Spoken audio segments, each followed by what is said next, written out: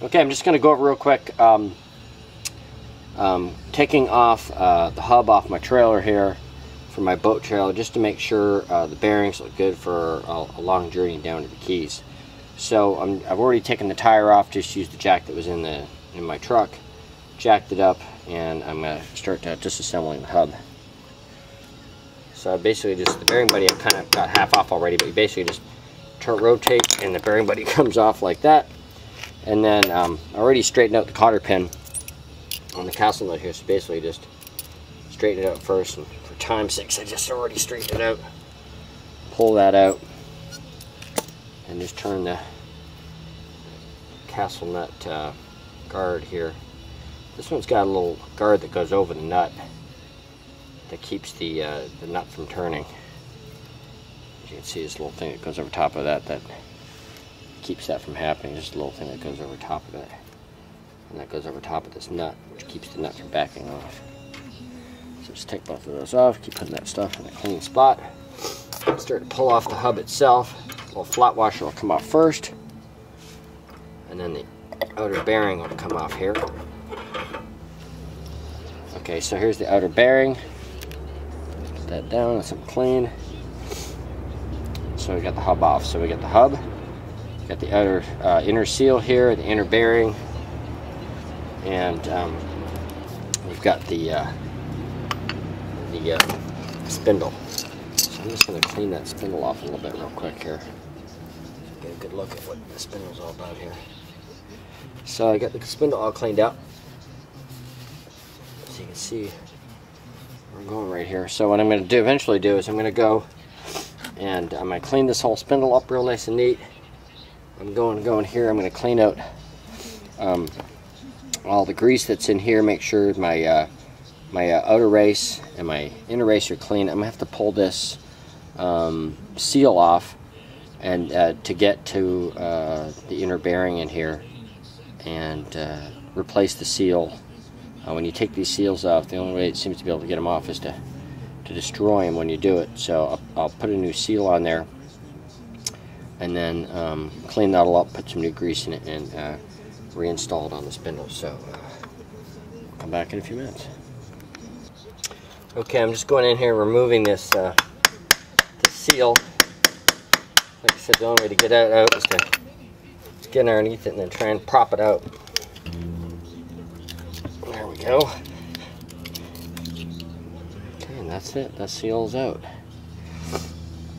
So I got the seal up. You can see we destroyed it getting the seal out of there. So um, that's removing the seal. Now we can get to the um, inner bearing. We'll clean that all up. And uh, we'll get all this uh, grease all out of here, all cleaned up. Got all this grease in here cleaned up and then um, you know we'll inspect both of the uh, races and we'll come back okay and as you can see I've got the um, got the bearings all cleaned out of grease and stuff like that. So there you can inspect the uh, the outer race and you can see it's all nice and clean. There's no discoloration. You feel it with your finger there to see if there's any edges or, or anything that catches there. This one looks really nice and smooth. And then again we've taken off the uh, the seal so we can get to this uh, inner race and inner race again looks looks really nice and clean. I'll try to back it up here so you can see a little better. And um, you can see in there real good but I cleaned out all that old grease out of there so that we're going to pack it with some new grease. Get it all nice and uh, looking good again. But again you know just looking for discoloration wear marks on the race and this one looks good so I don't really see any any problem there. Good. Okay, the only other thing we're going to take a look at is uh, I cleaned up the bearings here real good. Checking to make sure there's no discoloration on the bearings. inside of the bearing, make sure there hasn't been any heat discoloration over time. Feels good. That's the uh, inner bearing. Here's the outer bearing. Same thing. Just checking to make sure that um, it looks good.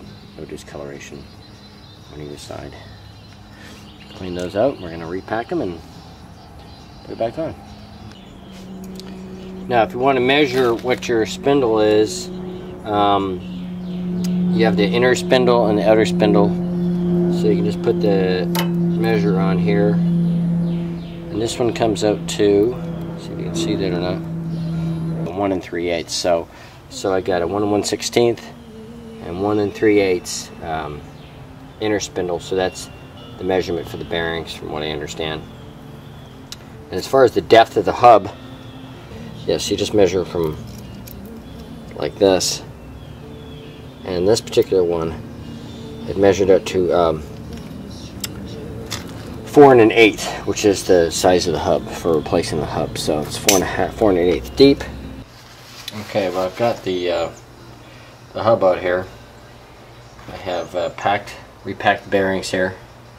Got those all nice and cleaned and packed. I actually ended up replacing the bearings actually because I noticed when I was going through some of these there was some wear and um, once I took out the grease I didn't like the way they sounded. And I had an extra pair of bearings so I just decided to get a new pair of bearings I had packed those up nice with some nice grease and I packed the uh, inner bearing here and I've set it in the race ready to put in the uh, seal. So I put a little light coat of grease on the inside of where the seal is going to go. I put a little grease on the outside of the seal. Help it slip in nice and easy. I'm Just going to line it up there and I'm going to tap it in here. Okay, I got the got the uh,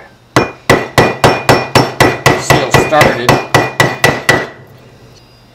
Looks good. Looks like it's all the way down.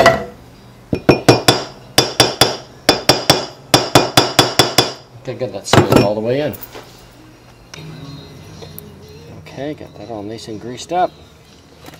Reinstall the hub with the seal on it. Slip that over there. My outer bearing. Slip that back in there.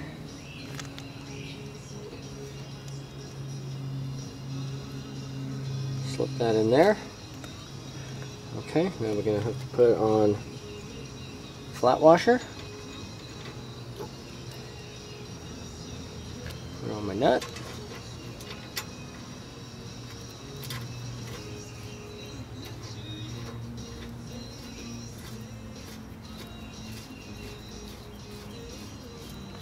This, I'm just going to run this down until it's tight.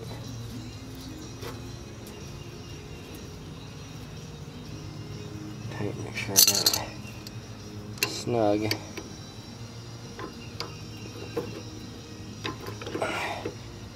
Loosen it a little bit.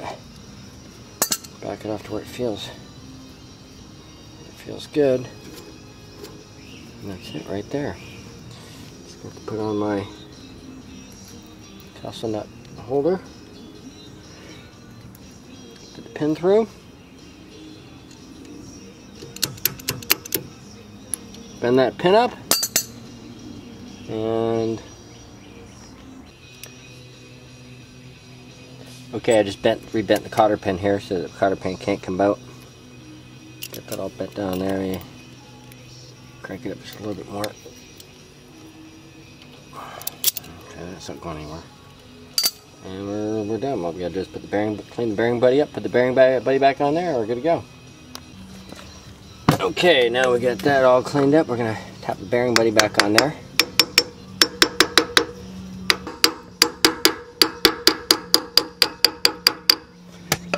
That's back on.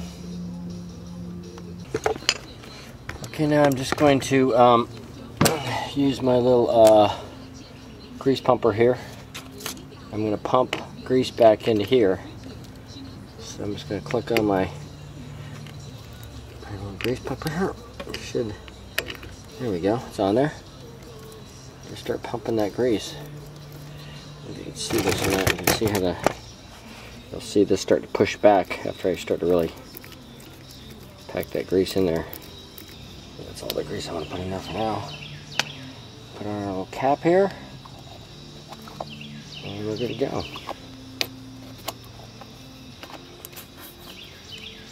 Done.